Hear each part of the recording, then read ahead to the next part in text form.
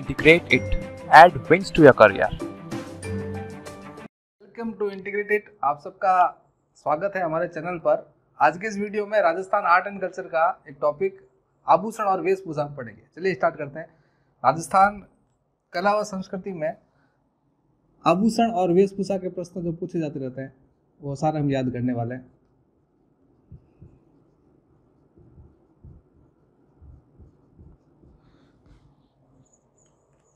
आभूषण में सबसे पहले आपको शरीर का अंग- के हिसाब से कुछ चीज़ें याद करनी पड़ेगी। कौन कौन से आभूषण कहाँ कहाँ पहने जाते हैं और उनके नाम सरल सरल से जो आपको समझना है।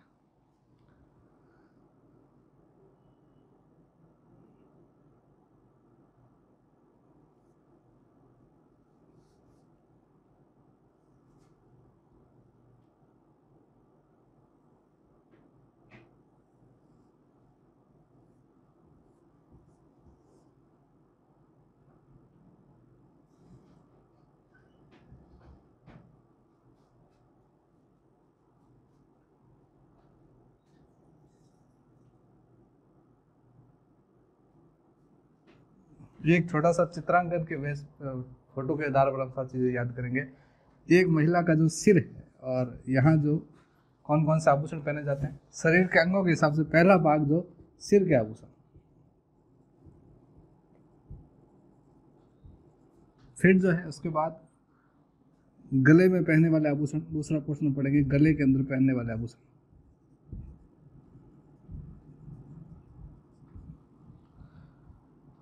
सबसे पहले सिर के आभूषण याद करते हैं। सिर में कौन कौन से आभूषण पहने जाते हैं? तो नाम जो है आप याद रखें।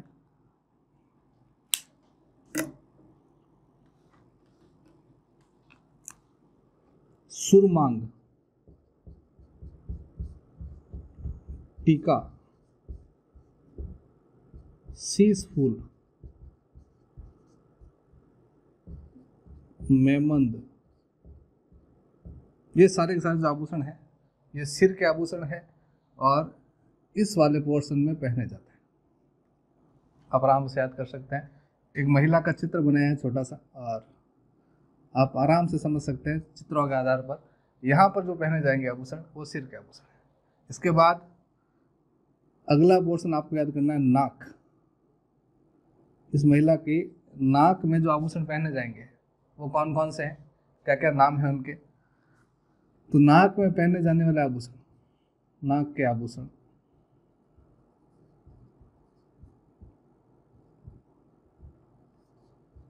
नाक के आभूषण में जो सबसे इम्पोर्टेंट नाम आपको याद करना है, नथ, भंवरिया, ये दो नाम इम्पोर्टेंट है। एक और नाम याद रखें आप। वाली। और सबसे जो एक्स्ट्रा फैक्ट के साथ इम्पोर्टेंट चीज़ याद करनी है आपको, जो आप आभूषण पूरे याद करें या ना करें, पर ये ये फैक्ट सबसे ज़्यादा इम्पोर्टेंट है। नाम याद करना, वेसरी। वेसरी नामक जो आभूषण है, वो पहना जाता है नाक में। क्यों इम्पोर्टेंट है? कारण भी समझिएगा। जब पढ़ते हैं राजस्थानी चित्रकला वहाँ एक चित्र पड़ता है बड़ी ठणी आप सभी जानते हैं बड़ी ठणी का एक सामान्य सा परिचय। किशनगढ़ चित्र शैली में बड़ी ठणी नामक चित्र बनाया गया। तो जो बड़ी ठणी चित्र है, उस बड़ी ठणी चित्र का जो चित्रकार था, वो हम सब जानते हैं मोर ध्वज नियाल चित्र चित्रकार था सावन सिंह ने बनवाया था चित्र। किशनगढ़ चित्र शैली का प्रसिद्ध चित्र है। इस चित्र को भारत की मोनालिसा भी कहा जाता है। और इस चित्र के अंदर एक महिला के नाक में इस तरह का एक आभूषण पहना हुआ दिखाया गया है। जिसके अंदर तीन मोती लगे हुए हैं और ये उसके नाक में वो महिला के आभूषण पहना हुआ है। कुछ इस तरीके से। ये जो आभूषण है, जिसमें तीन डॉट आप याद कर सकते हैं। तीन डॉट के साथ ये जो तीन तरह के हीरे लगे हुए इसमें और ये आभूषण है, इसका नाम है वेसरी। और ये वेसरी नामक आभूषण जो है, इस बड़ी ठणी नामक चित्र में एक महिला के पहना हुआ है। तो वेसरी आभूषण कहाँ पहना गया है आपसे पूछ ले। तो याद करना है वेसरी आभूषण नाक में पहना जाता है। इम्पोर्टेंट इसलिए है क्योंकि बड़ी ठणी नामक चित्र में भी पहना गया है। बड़ी ठणी चित्र में चित्रित। बड़ी ठणी जगह जो चित्र है, उस चित्र के अंदर ये बनाया गया है आभूषण। तो नाम याद कर सकते आप, बेसरी। अगला पोर्शन आपको याद करना है कान। कान के आभूषण। कान में कौन कौन से आभूषण पहने जाते हैं और आभूषणों के जो प्रश्न बनते हैं। अब तक हमने याद कर लिए, सिर के आभूषण याद किए, नाक के आभूषण याद किए, नंबर लगा रहता हूँ मैं, एक नंबर, दो नंबर, और तीसरा है कान के आभूषण, तीन नंबर। कान में जो आभूषण पहने जाते हैं महिलाओं के, उनमें से एक नाम याद करना आपको कर्णफूल कर्णफूल पीपल पत्र लौंग टोपस, जेला, झुमका, ये सारे के सारे जो आभूषण है, वो कान के अंदर पहने जाते हैं महिलाओं द्वारा। तो नाम आप याद कर सकते हैं। पीपल पत्र, छोटा सा एक पीपल का डिज़ाइन का, पीपल के पत्ते का डिज़ाइन का आभूषण होता है, जो कान के अंदर पहना जाता है महिला तो ये कान के आभूषण आप नाम याद कर सकते हैं। कई बार जो प्रश्न पूछा जाता है कि जैसे हाल ही के एग्ज़ाम में प्रश्न पूछा गया। आभूषण का नाम पूछ लेंगे और आपसे वो उसका अंक पूछेंगे, वो आभूषण कहाँ पहना जाता है इसके बाद अगला पोर्शन हम याद करने वाले हैं, चार नंबर जो है, वो गले के आभूषण। गले में कौन कौन से आभूषण पहने जाते हैं?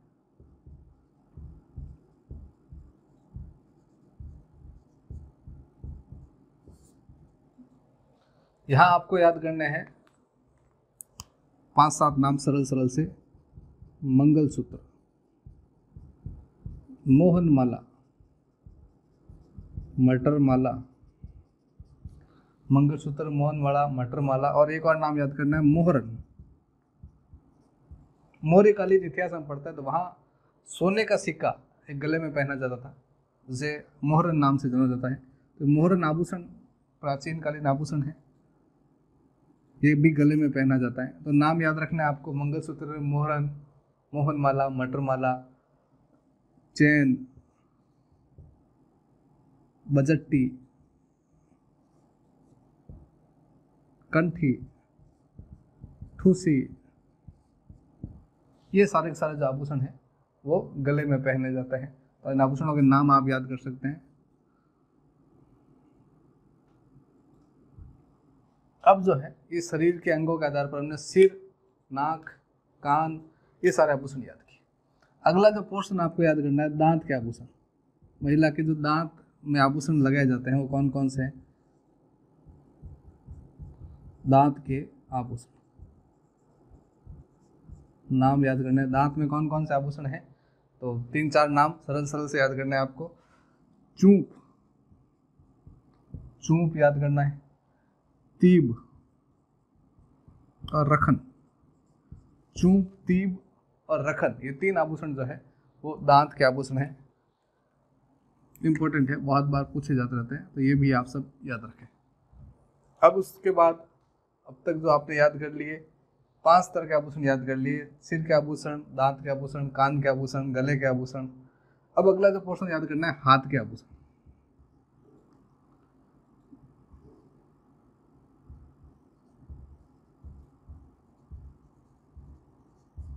हाथ के जो आभूषण है।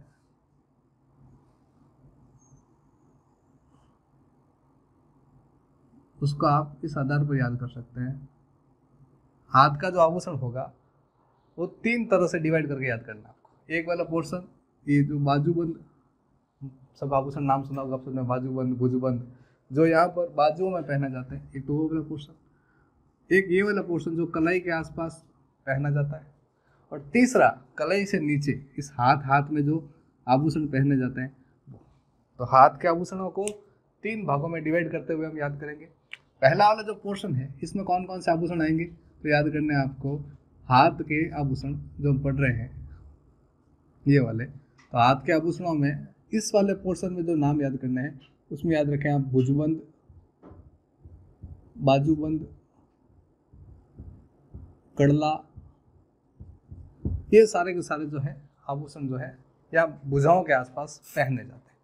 इसके बाद अगला जो पोर्शन है, ये वाला, भुजा, बाजू से नीचे बच्चे वाला पोर्शन, और वो भाग जो है, यहाँ पर जो पहनने वाला आभूषण है, उसमें नाम आप याद रखें, कंगन,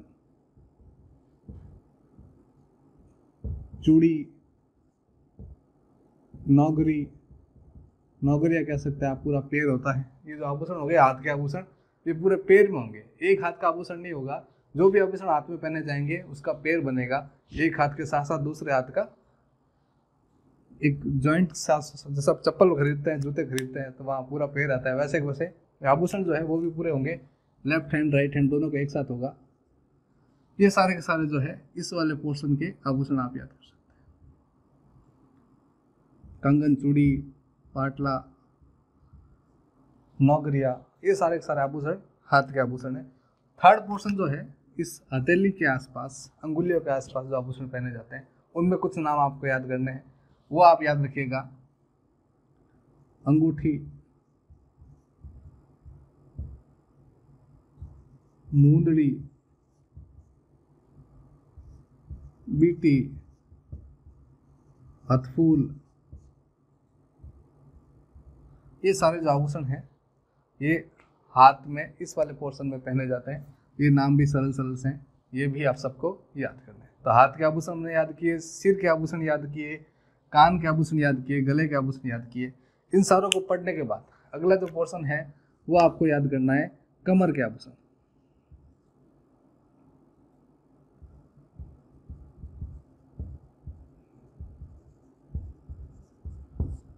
कमर के आभूषण। कमर के आभूषणों में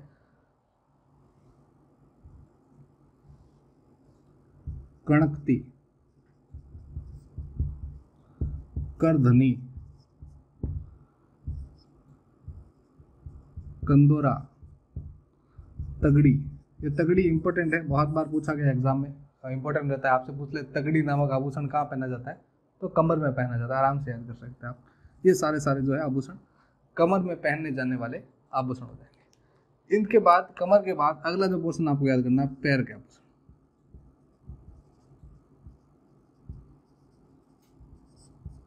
पैर में कौन कौन से आभूषण पहने जाते हैं, पैरों के आभूषण जो आप याद करने वाले हैं, उसमें कुछ नाम इम्पोर्टेंट है।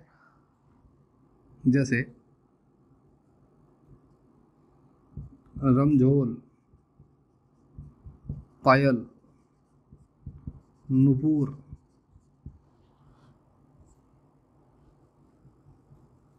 ये जो जो आभूषण है, सारे के सारे पैर के आभूषण है, कड़ा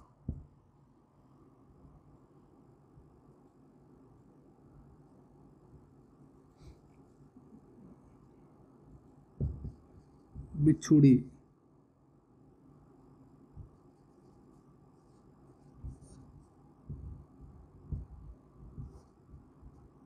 ये सारे सारे हो जाएँगे पैरों के आभूषण।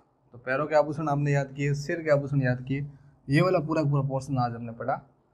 महिलाओं के आभूषण और आभूषण के प्रश्न बहुत बार एग्ज़ाम में पूछे जाते रहते हैं। आप चाहें तो इसका एक स्क्रीनशॉट ले लीजिए और उसके बाद अगला सेशन जो हम पढ़ने वाले हैं, वो पढ़ेंगे वेशभूषा से संबंधित मोस्ट फैक्ट तो एक बार स्क्रीनशॉट ले लीजिए आप। ये जो हुआ, वो हमने पढ़ा। आभूषण और वेशभूषा। एक बार रिवाइज कर लीजिए फटाफट। शुरुआत हमने पढ़ी आभूषण।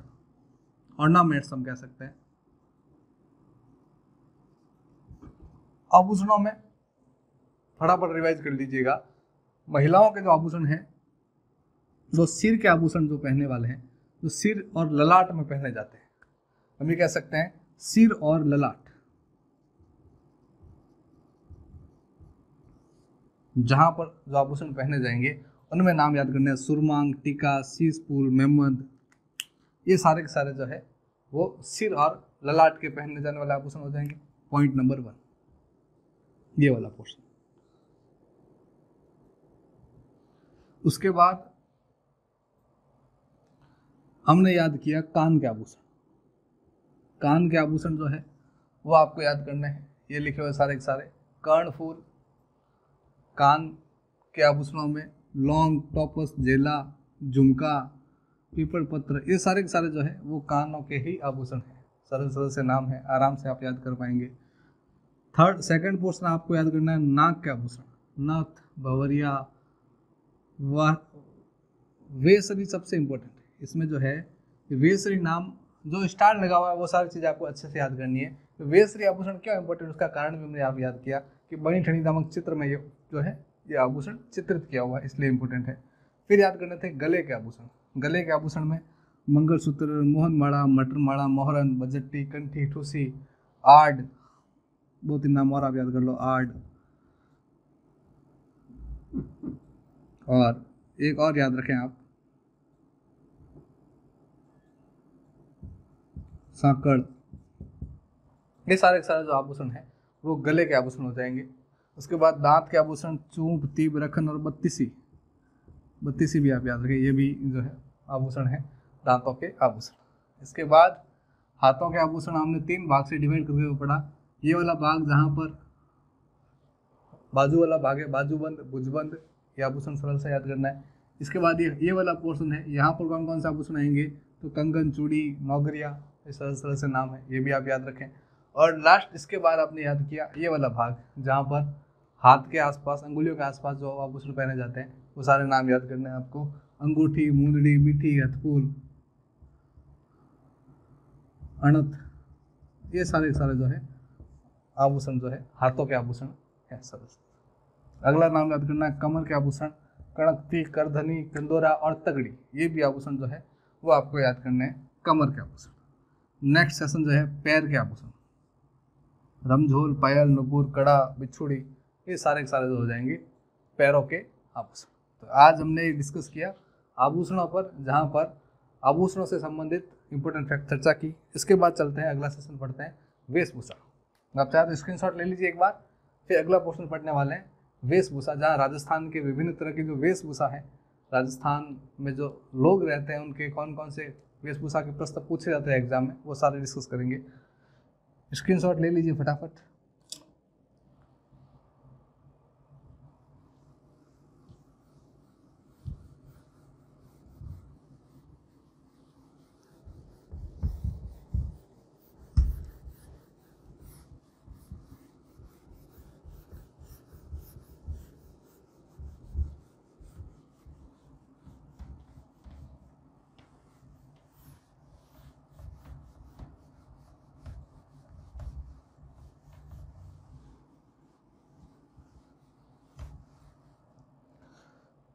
अब आभूषण के बाद वेशभूषा के फैक्ट आप याद रखें। वेशभूषा जो है, हम ये कह सकते हैं पहनावा। हमारे यहाँ कपड़े पहनने का क्या क्या रिवाज है किस किस तरह के कपड़े पहने जाते हैं, उसके फैक्ट आपको याद करने इसको हम दो तरह से डिवाइड करेंगे। पहला पोर्शन जो होगा, वो पुरुषों का वेशभूषा। हम ये कह सकते हैं मेल और फीमेल दो भागों में डिवाइड करेंगे कि पुरुष लोग और महिलाओं का पुरुषों की वेशभूषा कैसी है? महिलाओं की वेशभूषा कैसी है? दो सरल सरल से सिंपल डिवाइडेशन याद करने। एक और दो। शुरुआत करते हैं पुरुषों की वेशभूषा से। पुरुषों की जो वेशभूषा है, उनमें पहला जो नाम आपको याद करना है, पगड़ी। पुरुष लोग जो सिर पर पहनते हैं, एक वस्त्र उसको बोलते हैं पगड़ी। पगड़ी जो है, वो किसका प्रतीक है? क्यों पहनते हैं? क्या क्या कारण है? कौन कौन सी पगड़ी प्रसिद्ध है? पगड़ी वाले सेशन में दो चीज़ याद करनी है आपको। पहला, पगड़ी जो है ये किसी भी व्यक्ति के पद और प्रतिष्ठा का प्रतीक है।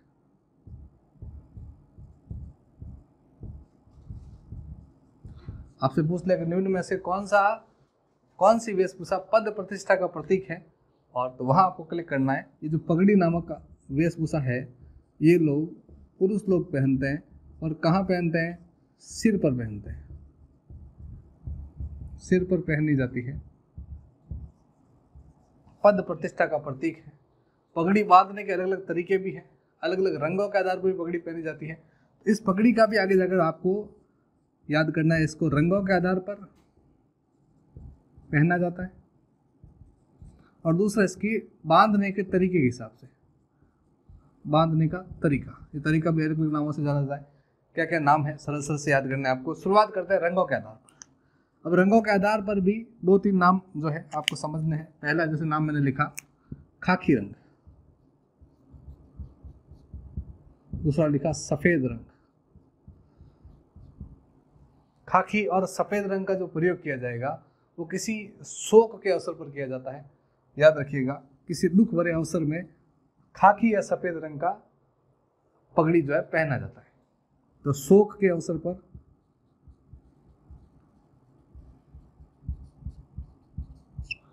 शोक के अवसर पर जो है, ये खाकी या सफ़ेद रंग का पगड़ी जो है, वो पहनी जाती है। एक जो आपको याद करना है, मदिल। ये जो पगड़ी है, ये पगड़ी स्पेशली दशहरा के अवसर पर पहनी जाती है। दशहरा के अवसर पर पहनी जाती है। और बाकी केसरिया रंग की पगड़ी, ये आप सभी जानते हैं, राजस्थान इतिहास से जुड़ी घटना, केसरिया साका, जौहर हम सब पढ़ते हैं। उसमें पहले के समय राजा महाराजा द्वारा युद्ध में जाते समय केसरिया रंग की पगड़ी पहनी जाती थी।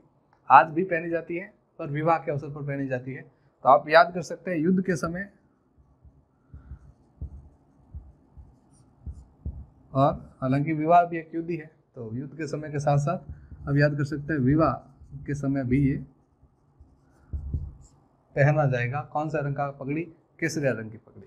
ये नाम हो जाएँगे रंगों के आधार पर पगड़ियों के प्रकार, जो बहुत बार सरल सरल से फैक्ट है, जो आपको समझना है याद करना बांधने के तरीके अलग अलग हैं। अखे साई, गज साई खुमान साई, ये जो सारे तरीके हैं, इन तरीकों का नाम भी आप सरल से याद कर सकते हैं। ये तरीके हैं पगड़ी बांधने के। तो ये नाम हमने याद किया पगड़ी का वाला सेशन पुरुषों की वेशभूषा में पहला सेशन आपने याद किया पगड़ी। जो कि पद प्रतिष्ठा का प्रतीक है। इसी पुरुषों में एक फैक्ट आप और याद रखें, जोधपुरी कोट। ये जो है राष्ट्रीय पोशाक। जैसा आप सभी जानते हैं कि राष्ट्रीय पक्षी मोर है। इस प्रकार जो है राष्ट्रीय ध्वज तिरंगा है, वैसे के वैसे राष्ट्रीय पोशाक कौन सी है? तो जोधपुरी कोट जो है, वो नेशनल यूनिफॉर्म कह सकते हैं, राष्ट्रीय पोशाक है। और ये भी एक पहनावा है। पुरुषों में एक और पहनावा में आपको याद करना है। अब कुछ कुछ नाम जो बेसिक बेसिक से आप सब जानते हैं प्रैक्टिकली उसमें कोई विशेष याद करने की ज़रूरत नहीं है एग्ज़ाम के पॉइंट ऑफ़ व्यू से। एग्ज़ाम में कौन से प्रश्न बनते हैं, वो आपको फैक्ट याद करना है। तो अगला जो सेशन याद करना है आपको, धोती। अब पुरुषों में? धोती में किस तरह के प्रश्न बनते हैं एग्ज़ाम में? धोती से संबंधित वेशभूषा में कैसे प्रश्न पूछे जाते रहते हैं, वो आपको समझना है। शुरुआत करते हैं सबसे पहले। तो सामान्य तरह की जो धोती पहनी जाती है स्पेशली धोती नामक जो वेशभूषा है, वो इसका प्रचलन जनजाति विशेष में भी रहा। भील जनजाति के जो लोग हैं, उनके द्वारा जो धोती पहनी जाती थी, वो दो तरह की पहनी जाती थी। ढीली धोती और तंग धोती। इनके दो नाम ये याद करें आराम से। अगला जो सेशन पढ़ेंगे हम, जनजातियों की वेशभूषा। और थोड़ा डिटेल से और चर्चा करेंगे इस पर। और नाम आपको याद करने जामा, अंगरखी, कुर्ता, ये सारे सारा जो है पूर्व पुरुषों की वेशभूषा हो जाएगा। इसके बाद अगला जो पोर्शन पढ़ने वाले हैं हम वो पढ़ने वाले हैं। आदिवासियों में पुरुषों की वेशभूषा कौन कौन सी है? महिलाओं की वेशभूषा कौन कौन सी है? थर्ड पोर्शन यह होगा, आदिवासियों की वेशभूषा।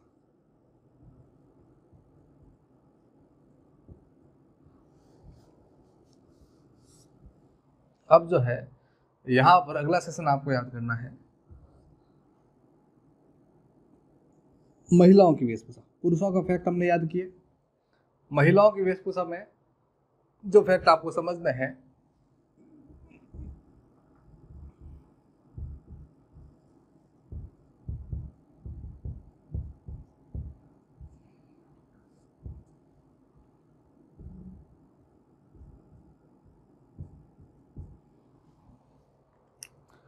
अब देखो ओडनी के प्रश्न बनते हैं तो। एग्ज़ाम में ओडनी के प्रश्न बहुत बार पूछे जाते हैं। महिलाओं की वेशभूषा में ओढ़नी के नाम आपको याद करने जैसे तारा भात की ओढ़नी कैरी भात की ओढ़नी मामा भात की ओढ़नी ये जो ओढ़नी है, सारी सारी, ये स्पेशली इसका जो प्रचलन है, वो आदिवासियों में ज़्यादा है। इन्हें कहते हैं आदिवासियों की ओरणी भी कहा जाता है। ऐसी ओढ़नी जिसके ऊपर तारे की डिज़ाइन होगी, उसको ताराबाद की ओढ़नी कहते हैं। मामा लेकर आएगा, उसको मामाबाद की ओढ़नी कहते हैं। कैरी की डिज़ाइन उसको कैरी बात की ओढ़नी कहता था ओढ़नी का प्रश्न आप याद रखें। अगला फैक्ट याद रखें इसके बाद। पोमचा। पोमचा में जो है, दो फैक्ट याद रखना है। एक तो पीला पोमचा, दूसरा गुलाबी पोमचा।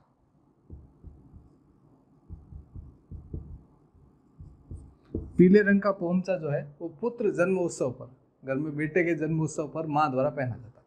तो पीला पोमचा, पुत्र जन्म उत्सव पुत्र जन्म उत्सव पर जो है, पीले रंग का पोमचा पहना जाता है। साथ ही साथ जच्चा नामक गीत गाया जाता है, होलर या जज्जा गीत भी गाया जाता है। पुत्र जन्म उत्सव पर गीत कौन सा गाया जाता है? साथ साथ याद रखना आपको होलर या जच्चा गीत, और कौन से रंग का पोमचा पहना जाता है तो पीले रंग का पोमचा पहना जाता है और पीले रंग का पोमचा प्रसिद्ध कहाँ का है तो जयपुर का पीला पोमचा राजस्थान में कहाँ का फ़ेमस है? तो जयपुर का प्रसिद्ध है। दूसरा याद करना है गुलाबी पोमचा गुलाबी पोमचा जो है, ये पहना जाता है स्पेशली पुत्री जन्म उत्सव पर। और गुलाबी पोमचा राजस्थान में प्रसिद्ध है जोधपुर का तो तुलनात्मक याद करना है। पीला पोमचा जयपुर का प्रसिद्ध है, गुलाबी पोमचा जोधपुर का है। पीला पोमचा जो पुत्र जन्मोत्सव पर है, जबकि गुलाबी पोमचा पुत्री जन्मोत्सव पर पहना जाता है।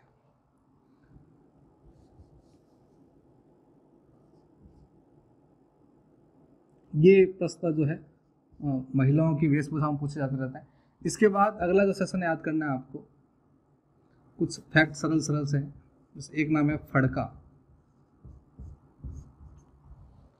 कथोड़ी जाति की महिलाओं द्वारा मराठा अंदाज में जो साड़ी पहनी जाती है, जिसे फड़का कहा जाता है।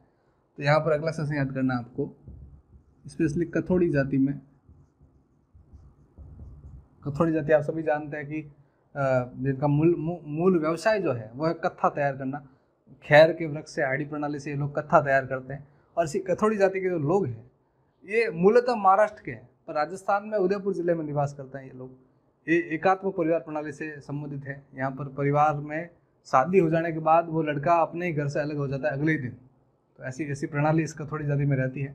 और यही कथोड़ी जाति जो है, इनमें महिलाओं का जो प्रभाव है वहाँ पर मराठा प्रभाव सबसे ज़्यादा है। हम ये कह सकते हैं सबसे अधिक मराठा संस्कृति का इफ़ेक्ट भी जो है, वो कथोड़ी पर है। उसका कारण यही है कि कथोड़ी जो जाति है, ये मूलतः महाराष्ट्र की है। इसी कथोड़ी जाति में जो महिलाएँ हैं, वो साड़ी जो पहनती है मराठा अंदाज में तो कथोड़ी जाति की महिलाओं द्वारा मराठा अंदाज में जो साड़ी पहनी जाती है,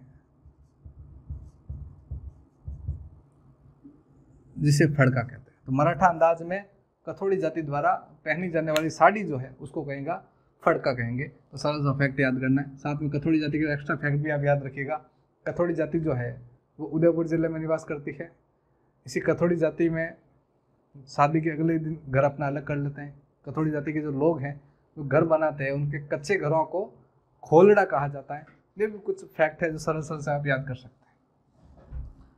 और मूलतः महाराष्ट्र की है कथोड़ी जाति। मुख्य व्यवसाय कथा तैयार करना, खैर के वृक्ष से। अब जो है, इन्हीं महिलाओं की वेशभूषा में पीरिया सिंदूरी पीले रंग की, पीले रंग का जो लहंगा है स्पेशली भील जाति में, भील जाति में पीले रंग का जो लहंगा है, वो पीरिया कहलाता है। भील जाति में पीले रंग का, भील जाति में महिलाओं द्वारा पहना जाने वाला। पहना जाने वाला। लहंगा। वो भी पीले रंग का। पीले रंग का जो लहंगा है, वो कहलाएगा पीरिया। लाल रंग की जो साड़ी है, वो सिंदूरी कहलाती है। ये भी नाम आपको याद रखना है। इसी भील जाति में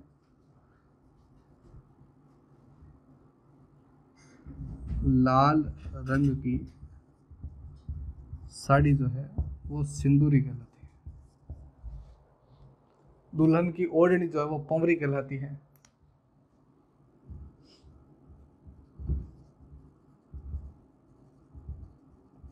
पंवरी कहते हैं। ये कुछ फैक्ट जो है, महिलाओं के वेशभूषा के संबंधित आप याद कर सकते हैं आराम से। तो सिंदूरी का फैक्ट आपने याद किया, पीरिया याद किया, फड़का याद किया ये एक्स्ट्रा नोट है ना, आप लिखते रहना साथ साथ।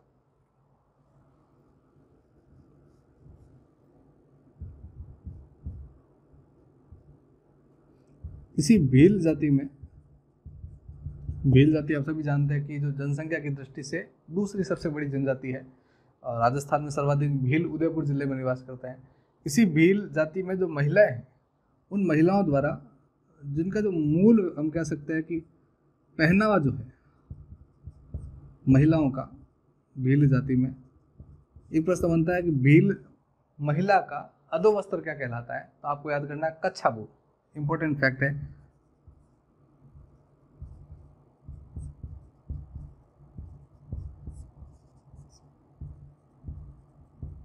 भील महिला का जो अधो वस्त्र है, उसे क्या कहा जाता है? तो याद रखना नाम आपको, कच्छा ये भी इंपॉर्टेंट है। बहुत बार पूछा जाता रहता है। तो ये सारे नाम आपके लिए समझने अच्छे से। तो फड़का क्या है? एक बार रिवाइज कर लीजिए फटाफट। कथोड़ी जाति में जो मराठा अंदाज में साड़ी पहनी जाती है, उसे फड़का कहा जाता है। पीरिया, भील जाति की महिलाओं द्वारा पहना जाने वाला पीले पीले रंग का लहंगा जो है, वो पीरिया कहलाएगा। सिंदूरा, सिंदूरी जो है, वो लाल रंग की साड़ी सिंदूरी कहलाएगी। ये सारे के सारे फैक्ट जो है, आपको एक साथ लिख लेना अच्छे से।